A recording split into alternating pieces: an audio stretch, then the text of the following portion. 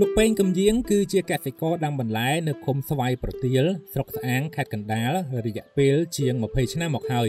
បច្ចុប្បន្នកសិកររូបនេះបានកំពុងបដោតការដាំដុះទៅលើដំណាំស្ពៃតឿជាចម្បងនិងមានបន្លែបន្តបន្សំផ្សេងទៀតដូចជាខាត់ណាឈើសាឡាត់ស្ពៃខ្មៅនិងស្ពៃចង្កឹះជាដើម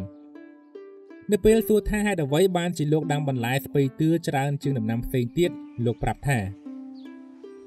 អាហ្នឹងវាស្ពៃតឿបានជាខ្ញុំចូលចិត្តដាំព្រោះរយៈពេលប្រមូលផលវាតិចវាឆាប់ឆាប់បានប្រមូលផលតែមួយខែយើងបានប្រមូលផលហើយ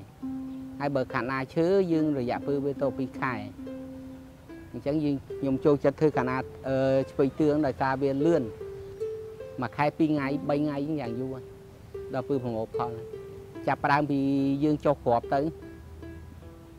ពោះគ្រាប់ទៅរហូតដល់ប្រមូលផលមួយខែ2ថ្ងៃមួយខែ3ថ្ងៃសម្រាប់កសិកររំនេះក៏ដូចជាកសិករដទៃទៀតនៅក្នុងតំបន់រស់នៅរបស់លោកមានការរៀបចំដាំបន្លែទាំងនៅក្នុងសំណាញ់និងនៅវាលតែម្ដងចំពោះបន្លែដែលដាំដុះនៅក្នុងរោងគឺជាប្រភេទបន្លែដាំធម្មជាតិសុទ្ធសាធហើយការប្រើប្រាស់រោងសំណាញ់នេះគឺសម្រាប់ការពារសត្វល្អិតបំផ្លាញដំណាំរីឯបន្លែដាំនៅវាលគឺមានការប្រើប្រាស់ថ្នាំសម្រាប់សត្វល្អិតបន្តិចបន្តួចដើម្បីការពារសត្វល្អិត ចំពោះតម្លៃនៅលើទីផ្សាររវាងប្រភេទបន្លែទាំងពីរនេះលោកពេងកំយាងបានបញ្ជាក់ថាតម្លៃស៊ីសងលើទីផ្សារហ្នឹងបើសិនជាសបោទៅវាថោកហើយបើសិនជាដូចខែហ្នឹងអញ្ចឹងវាអត់សូវមានអញ្ចឹងថ្លៃឥឡូវហ្នឹងវាសប្ងៃហ្នឹងវាថ្លៃអាស្ពៃតឿនហ្នឹង1គីឡូ4000ជាងវា1ដុល្លារជាង1គីឡូអានៅក្នុងរូងនេះថ្លៃជាងថ្លៃប្រហែលជាប្រហែលដងនេះអា អាហ្នឹងវាអត់ទៀងបើសិនជាខាងក្រៅជួនដល់ខាងក្រៅឥឡូវហ្នឹងវាវាថ្លៃជាងអានៅក្នុងរូងនេះប៉ុន្តែអានៅក្នុងរូងនេះបន្លែដាំបានប្រហែលគេយកទាំងអស់គេកងត្រាមានកងត្រាមានទីផ្សារហើយបើយើងបន្លែក្រៅយើងលក់នៅទីផ្សារសេរីតែសម្បូរថោកតែពើអត់ថ្លៃវាអញ្ចឹងហើយបន្លែនេះអត់មាននេះគេដាក់តម្លៃហើយស្រេចស្ពៃតឿននេះ1គីឡូ3000គឺយើងដឹងថា3000 បាទឲ្យយើងធ្វើបានគេយកទៅគេដឹងថាគិតឲ្យយើង3000ហ្នឹងបាទហើយពីច្រើនខាងណាណាកំងទិញទៅពូដែរអាស្ពៃដែលយើងដាំនៅក្នុងអានេះគឺតែអង្គការគេមើលកំងចូលទៅផ្សារទំនើបទំនើបគឺលពូតែតមួយស្ពៃជឿនេះគឺយើងអាចដាំមួយឆ្នាំពេញហ្មងលពូណាដាំមួយឆ្នាំពេញក៏បានបាទហើយយើងខែម្ដងខែម្ដងបាទបាទហើយបើយើងចង់ដូរមុខក៏បានដែរប៉ុន្តែបន្លែបើសិនជាយើងដាំដូចថាដីហ្នឹង ដីហ្នឹងយើងដាក់សារហ្នឹងដាក់ស្ពៃទឿសារក្រោយយើងដាក់ស្ពៃទឿទៀតក៏បានផលមិនដូចសារដំបូងដែរគឺថាសារទី1បាន1តោនសារទី2វាអាចថយ100គីឡូឬក៏150គីឡូបើយកល្អគេដាំសារហ្នឹងគេដាក់ស្ពៃទឿសារក្រោយគេដាក់ស្ពៃចកេះឬក៏កញ្ញាញ់ស្ពៃខ្មៅជាងដូរគ្នាដើម្បីឲ្យដីនឹងវាកុំឲ្យវាស៊ាំជាមួយនឹងបន្លែហ្នឹង ឬក៏យើងមិនចង់ដាក់ទៅបន្លែផ្សេងផ្សេងយើងដូរតែមួយមុខហើយយើងបកមកស្បៃតឿននោះវិញក៏បាន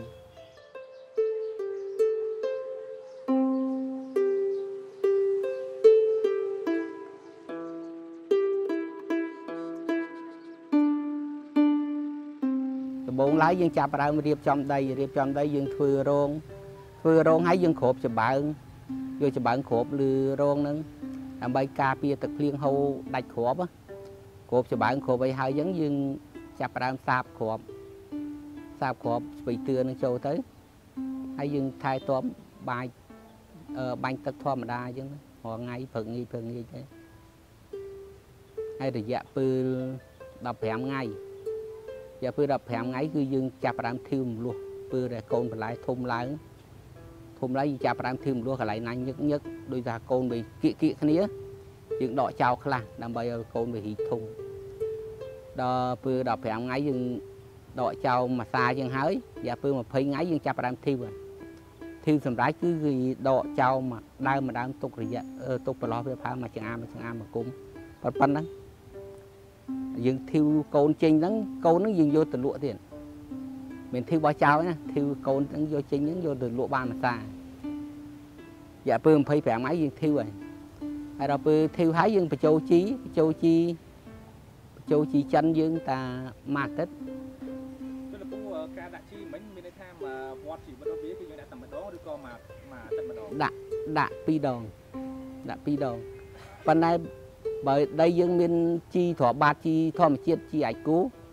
យើងមិនបាច់ដាក់ទេអាសាទី1ចាំដាក់អាសាទី2ពើរយៈពេល25ថ្ងៃហើយយើងធឺសម្រាប់ធឺអីហើយរយៈពេល25ថ្ងៃហ្នឹងយើងដាក់ជី ជីចិនចូលរយៈពេលមួយខែប្រមូលផលបានសម័យឥឡូវគេព្រោះនឹងរងនឹងទាំងអស់ដល់ពេលកន្លែងណាក្រាស់គេដកចោលវិញអាការដែលយើងព្រោះនៅរងហើយយើងដកយើងទៅខ្ទូងអាហ្នឹងវាប្រើរយៈពេលយូរហើយវាប្រើអស់ឈ្នួកម្មករច្រើនហ្នឹងអត់តាន់អត់តាន់ធ្វើអត់តាន់ណាគេព្រោះលើរងតែម្ដងគឺលពូរយៈពេលវត្តជីវិតនៃដើមស្ពៃទឿមួយដែលថារយៈពេល1ខែហ្នឹង តើឆ្លងកាត់ការថែទាំអីខ្លះទេក្រៅពីយើងដាក់ជីស្រោចទឹកតែជីស្រោចទឹកយើងដើរមើលមានតកៅយើងបាញ់ថ្នាំតកៅមានតែដើរមើលតកៅមើលអីហ្នឹងអត់មានចាំបាច់ធ្វើអីអាផ្ទាំងលឿនលឿងហ្នឹងគេចាប់ដើរចាប់សត្វល្អិតមានបាយយ៉ាងណាក៏ដោយការដាំដុះស្ពៃតឿក៏បានជួបនូវបញ្ហាប្រឈមខ្លះៗដែរលោកពេងកំយានប្រាប់ថាជាទូទៅ ច្រើនតែជួបបញ្ហាសត្វល្អិតបំផ្លាញដំណាំនិងជំងឺដែលមានដូចជាជំងឺក្រាភ្លើង និងជំងឺរលួយគល់ជាដើមលោកកំយាងបានបន្ថែមថា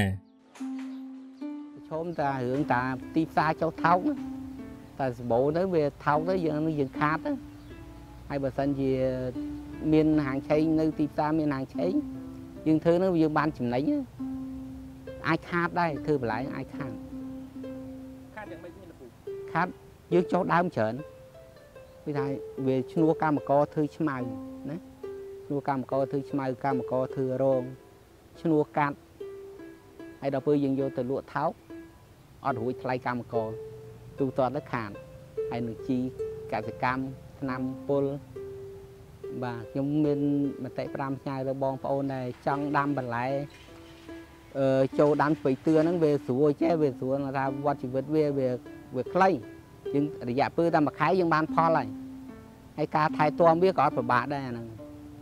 វាអត់ទៅស៊ីទឹកហើយជីក៏មិនទៅស៊ីដែរយើងអស់ចំណាយអស់ដើមទុនតិច